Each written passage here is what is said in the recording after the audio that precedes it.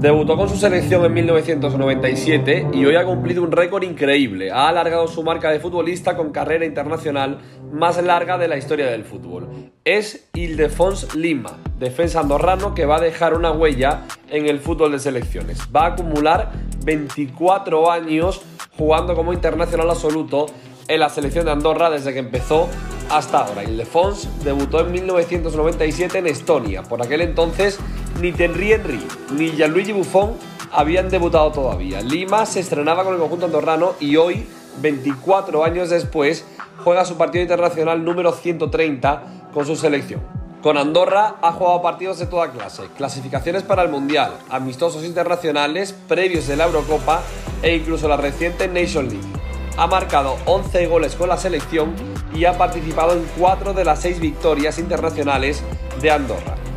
Ildefons tiene un pasado de la liga. Jugó en Las Palmas con 23 años, 2 temporadas y más de 30 partidos con el Rayo Vallecano. También pasó por el Poliegido y el San Andreu. Ildefons ahora juega en el Interclub de Escaldels de la Liga Andorrana. Es parte del proyecto Common Goal junto a Juan Mata y creador de la asociación Gol Solidari Andorra. A sus 41 años y tras ser convocado para el cuarto partido de Andorra contra San Marino en la clasificación del Mundial, Lima marca otro récord para la historia.